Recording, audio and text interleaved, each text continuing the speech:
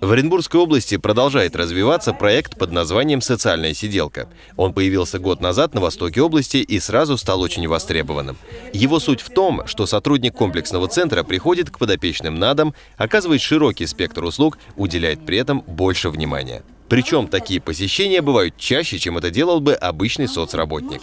Эльвира Кужагулова из Кувандыкского района ухаживает за 25-летней Дианой. У девушки ДЦП и без посторонней помощи ей не обойтись. Когда вот уезжают родители, мы остаемся, занимаемся.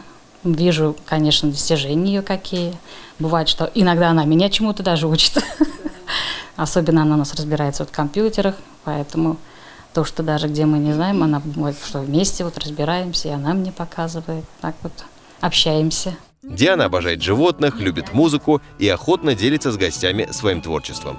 Мне то, что нравится в этом, что такая есть поддержка, это что я могу своего ребенка оставить и, как сказать, положиться могу, довериться этим людям, которые за ней смотрят, и она к ним очень сильно как, ну и привыкла, и с ними общается она. В Орске услугами социальной сиделки получатели пользуются второй год. Каждый случай рассматривается в индивидуальном порядке. Решение выносится коллегиально сотрудниками комплексного центра. Рабочая группа собирается по мере необходимости, подают заявку социальный работник или рабочее бюро, те сотрудники, которые непосредственно предоставляют услуги на дому.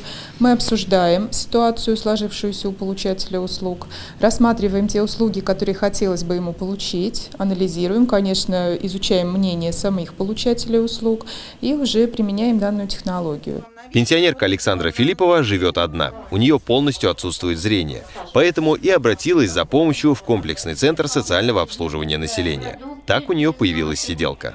Голь у меня хорошая.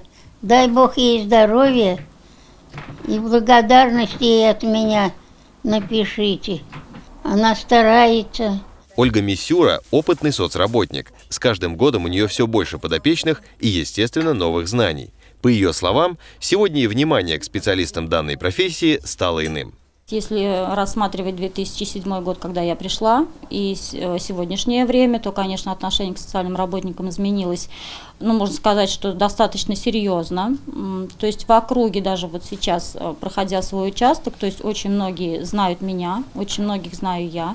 Люди обращаются за консультацией независимо от возраста, то есть это не обязательно, могут быть пожилые люди. С каждым годом требования к соцработникам повышаются. Они осваивают инновационные формы деятельности, применение которых поднимает их работу на более высокий уровень.